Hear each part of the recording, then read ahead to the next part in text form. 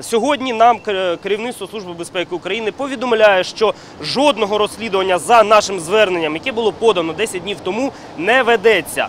Столярова була видворена з нашої з території нашої держави. А пан Шувалов вільно продовжує працювати з телеканалом Інтер. Він продовжує диверсійну інформаційну війну проти українського народу, проти української держави. І Служба безпеки України вважає зараз, що немає жодних підстав притягнути його або до кримінальної відповідальності, або просто вчинити політичну волю, вчинити справедливість для українського народу і видворити його за територію нашої держави.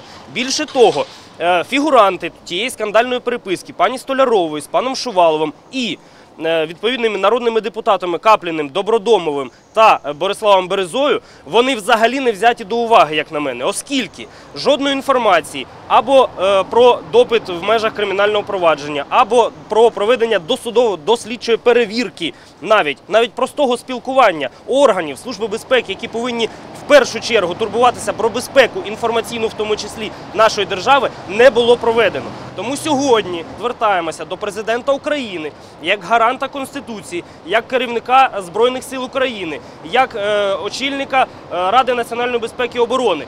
Одним з елементів безпеки нашої держави є інформаційна безпека, і ми повинні сьогодні показати нашим правоохоронним органам, в тому числі Службі безпеки України, що є політична воля на те, щоб боротися з російською агресією, щоб боротися з російським окупантом і щоб видворяти негідників з території нашої держави.